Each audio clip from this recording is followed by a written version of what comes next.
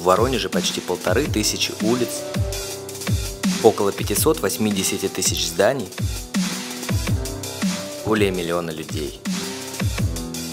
Многие из них каждую неделю собираются вместе ради одного – ради поддержки любимой команды.